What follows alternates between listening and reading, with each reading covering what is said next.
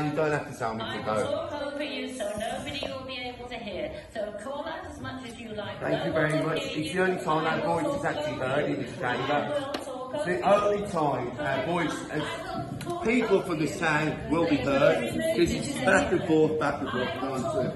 over you. 11,000 signatures aren't bothered about. I'm going to stop the time. Shame on you! Shame on you! Shame on you! Shame on you! Shame on you! Shame on you! Shame on you!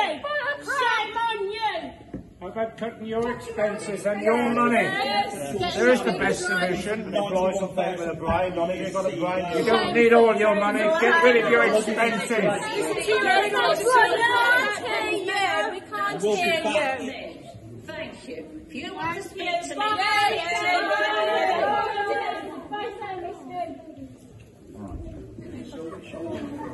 you wish to leave the meeting, now is the moment to go.